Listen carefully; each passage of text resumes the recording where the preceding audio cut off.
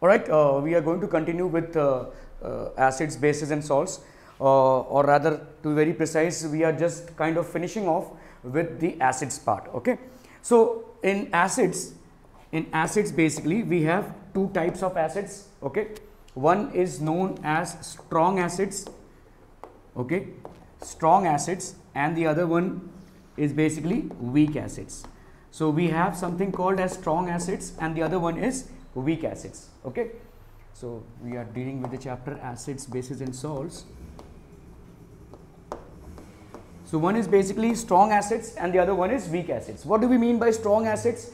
Strong acids are the ones which completely dissociate to form H ions. Okay. So, strong acids completely undergo dissociation. Okay. Completely undergo dissociation strong acids completely undergo dissociation. So, let us say if I take uh, hydrochloric acid, okay, hydrochloric acid means H plus plus Cl minus, okay. So, when you are taking hydrochloric acid in aqueous medium that is in water, it completely dissociates to form the constituent ions. For example, if I take sulfuric acid, okay, it completely dissociates to form 2H plus and SO4 2 minus ions, okay uh, if I take HNO3 that is nitric acid these are all basically mineral acids and they are all strong acids okay? So we will have H plus plus NO3 minus okay? So these are complete dissociation this see there is a single arrow out here. Single arrow means that the reaction is not reversible. The moment you dissolve them in uh, uh, aqueous solutions or in water they will form they will form uh, they are completely dissociating okay so, there is a complete dissociation that happens here. Just one moment here.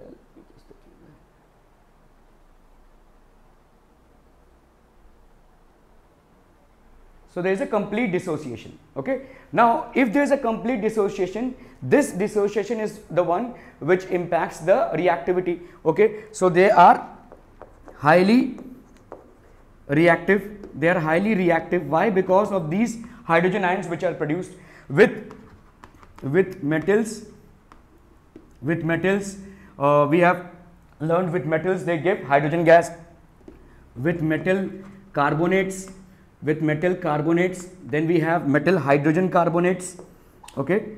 With both of them with both of them they give carbon dioxide gas. So the chemical reactions are the chemical reactions are not gradual they are rapid chemical reactions okay so metals, metal carbonates, then we have metal hydrogen carbonates, then we have bases with which they neutralize. So all these chemical reactions are rapid. All chemical reactions, all chemical reactions involving involving acids involving strong acids basically strong acids is rapid okay so rapid means it it doesn't consume time. It will be a rapid reaction which is taking place okay? Now when we say strong the strong word here doesn't mean concentrated. It is concerned with dissociation. So understand when we are referring to a strong acid we do not mean a concentrated acid. See uh, the degree of uh, dilution see we have understood what is concentrated and what it is uh, for dilute acids okay? Here the word strong doesn't mean concentrated. The word strong here means the degree of dissociation okay? So how much of it is getting uh, or undergoing dissociation? So in strong acids in strong acids there is almost 100% dissociation. Almost 100% dissociation. The strong acids will always it means that the entire HCl which is present in aqueous solution will undergo dissociation into H plus and Cl minus ions the H2SO4 that is there will undergo dissociation into 2H plus the entire thing will go dissociation. So, strong acids here means strong acids basically means 100 percent dissociation. Okay. What do we mean by weak acids? Weak acids basically means uh, they undergo partial dissociation. Again the term weak is not correlated to it is not it is not correlated to concentration. See concentration can either be dilute or concentrated. This is not related to that. It is related to dissociation. So here a partial dissociation will happen. partial dissociation will happen okay so partial dissociation means for example if i take a weak acid let's say this is acetic acid okay so this is acetic acid which undergoes dissociation into CH3COO minus plus H plus. Now, if you notice here we have a single sided arrow, but in this reaction we will not have a single sided arrow, it will be a double sided arrow. Many a times you can be asked what is this meaning of this uh, single sided arrow or a double sided arrow. Single sided arrow means that the reaction is proceeding only in one direction. However, here the reaction will proceed in both the directions because not the entire CH3COH will get converted into this. It is a partial dissociation. Dissociation is happening here as well. H plus ions are getting here as well, okay, are getting formed here as well, but not the entire. So, in end to end, you will have some amount of CH3COH left which has not dissociated into the constituent components of CH3 and COH. So, it is, this is basically this is basically denoting that it is a weak acid okay. So, the double arrow here confirms that it is a weak acid okay.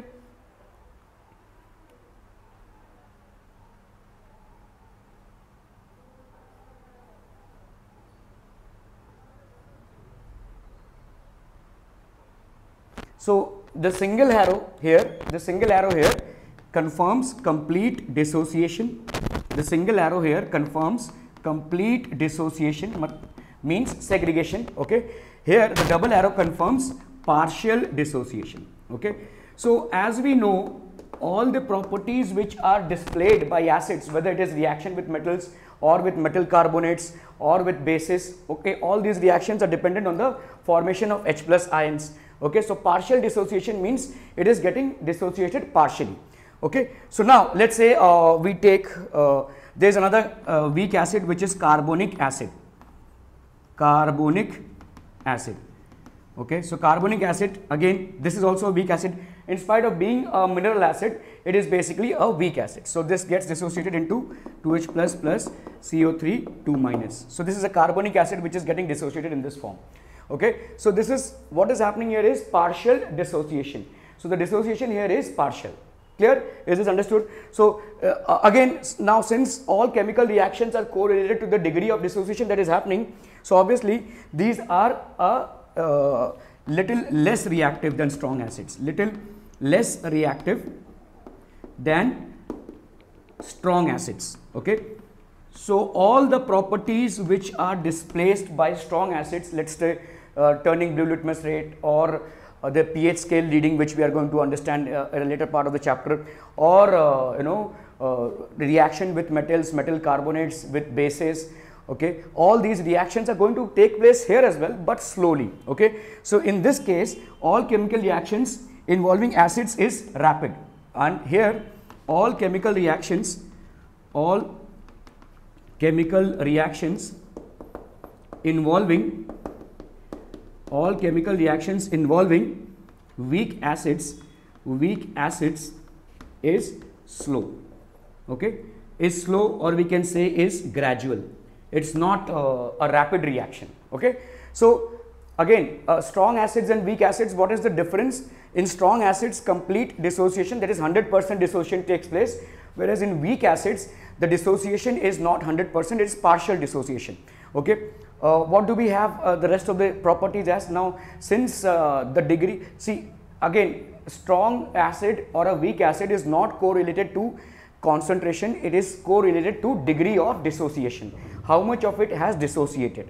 Okay, so in uh, weak acids, let's say carbonic acid or sulfurous acid or acetic acid, so these are basically weak acids. They will also they will also form H plus ions, but the formation of H plus ions will be uh, reversible as well. So the reaction is not uh, proceeding in one direction, but it is proceeding in both the directions. Okay, and hence this this is called partial dissociation. See, we we represent the ionization of strong acids by a single arrow whereas we represent the ionization of weak acids by a double arrow. Because uh, the entire dissociation doesn't happen. It's not 100% dissociation. Okay? So acetic acid carbonic acid all these are basically weak forms of acids. To be very precise to be very precise in your syllabus or even in long term uh, there are only three strong acids which is sulfuric acid uh, nitric acid and hydrochloric acid. These are the only three strong acids. Any acid apart from this will be a weak acid. Okay, just understand this. Okay, now uh, as the formation of hydrogen ions is responsible for all the chemical properties that are displayed. So obviously the formation of uh, H plus ions in weak acids will also be responsible for all the properties that it displays.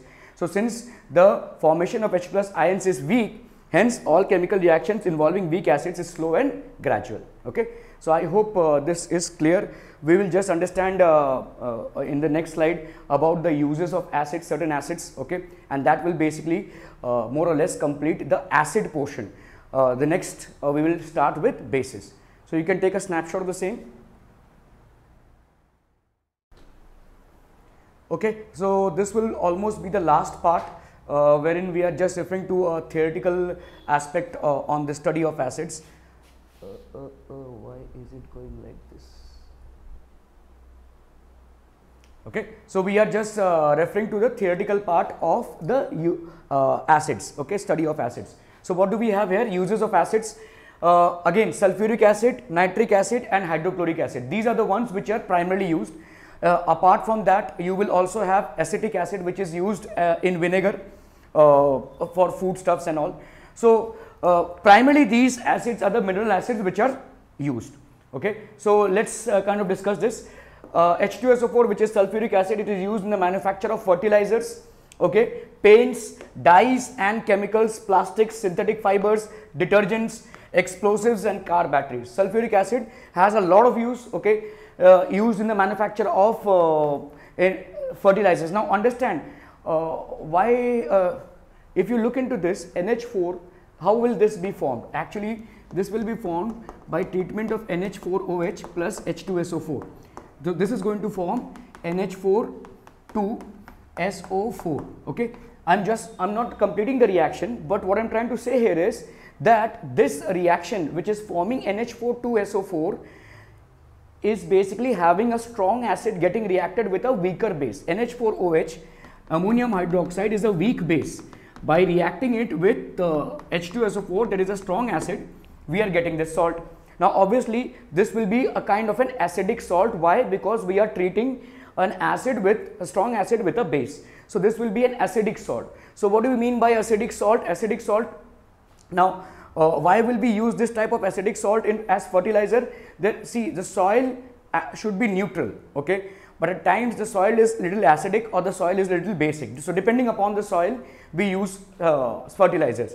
So this is basically an acidic fertilizer which will turn the basic salt into neutral. The purpose is to neutralize the soil before you know the cropping and all, all the things take place.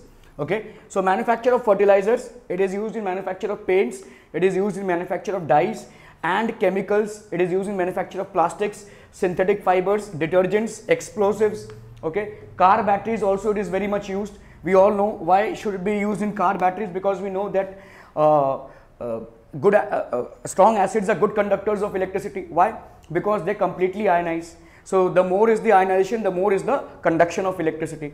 Because in conductors the conduction of electricity happens by the flow of electrons. However in uh, uh, liquids or in electrolytes the conduction of electricity happens by the flow of ions. So that is the Okay, now we have nitric acid which is used in making fertilizers like ammonium nitrate, okay, explosives like TNT. This is called trinitrotoluene, dyes and plastics. Okay, so these are basically nitric acid. Hydrochloric acid used for removing oxide film from steel objects. Now, objects which are made up of steel, the oxide film which gets deposited that is used to remove. So, HCl basically is used for removing oxide from steel objects before they are galvanized. Now, what is the purpose of galvanizing? We will understand later, but just to give you a heads up here, galvanized steel is used in making strong structures, let's say, uh, you know, railway tracks. Now, railway tracks are uh, subject to extreme weather conditions. So, the, uh, the, you know, the, there is a high possibility that they get rusted, uh, rusted, sorry. So, if the rusting happens, in order to prevent the rusting, they are galvanized. Basically, iron is mixed with zinc and that is called galvanized. So before these uh, uh, huge iron chunks for whatever purposes they are getting used, whether they are getting used for uh, you know building beams or uh, you know the bridges or in railway tracks. So before that the oxide film is removed by using by using HCl. Uh, okay hydrochloric acid basically removes the rust and then it is galvanized the iron is basically galvanized basically added by zinc so that it is not rusted anymore okay so and then what else? Before they are galvanized also for removing scale deposits inside boilers. See we have different boilers uh, in different industrial units and these boilers basically will have scale deposits. Even if in your home you actually happen to uh, use a utensil for even boiling water you will see that there are scale deposits. So you have to come you know uh, continuously clean that. In order to clean uh, boilers now boilers basically will have thin tubes and all so in in uh, tubes it is very uh, difficult to go in and clean so HCl is used as a cleaning agent okay also for removing scale deposits inside boilers it's used in dye stuffs, food, textile and leather industries as well. So these were pretty much about uh, the uses of mineral acids. There is a huge amount of uses that they are put into. The other forms of acids which are weak acids rather are also important okay and they have their own uses. For example, acetic acid is used as food. However, these are the main uh, uh, three acids which we need to understand and their uses as well okay. So I hope this, so this basically uh, completes the entire stuff about acids. If you have any questions, please go through all the slides, please go through all the videos. Uh, if you have any questions with regards to acids, please feel free to uh, reach me uh, either by the comment section or personally through my numbers as well. Okay. Any clarifications needed, please do feel free to comment in the comment section or reach me personally as well. So this basically completes your entire topic on acids. We will now uh, start with bases okay so you can take a snapshot of the same and we will go ahead with the basis part